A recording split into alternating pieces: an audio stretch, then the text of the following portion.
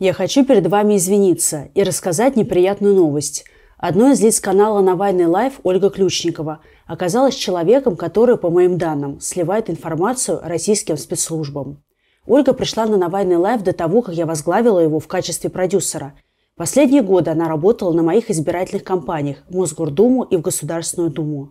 Я считала ее подругой, мы даже вместе ездили в отпуск. Мне больно и неприятно осознавать этот факт, но я хотела предупредить вас и заодно извиниться.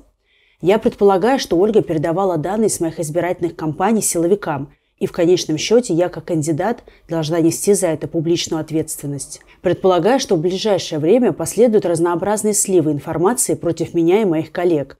При том, что часть из них может оказаться правдой, хотела бы, чтобы вы критически относились к такому.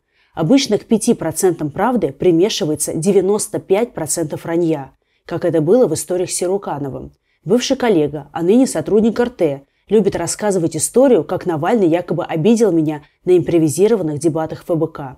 Алексей Навальный пытался стать гуру словесных манипуляций, для чего устраивал искусственные дебаты ФБК. Темой очередных прений стала смертная казнь. Соболь вышла из раунда победительницей и рассказала, что ее деда расстреляли. Навальный обозлился на неопытную блондинку и вывел ее на эмоции. Он повернулся к подчиненной и заявил, что с ее родственником поступили правильно. Как отметил Саруканов, эти слова заставили Соболь разрыдаться. Все было бы очень складно, но, как говорится, есть нюанс. Мы ФБК действительно устраивали дебаты, и в каком-то раунде действительно участвовала я и Навальный. Вот только я никогда на них не рыдала, а дедушек моих никто не расстреливал. Оба прожили до глубокой старости.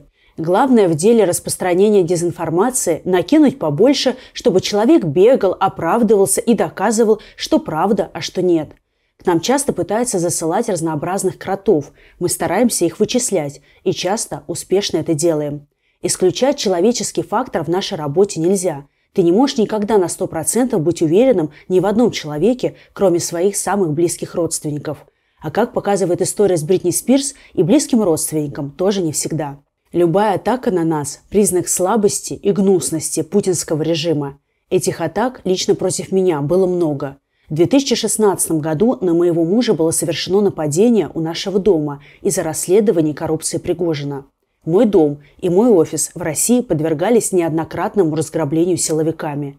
Меня задерживали, держали в ВВС, блокировали банковские счета. Против моего отца публиковали заказуху, а маленькую дочь преследовали по пути в детский сад – на меня завели в общей сложности четыре уголовных дела. За то, что я борюсь против путинской коррупции, за то, что говорю правду и за то, что не сдаюсь.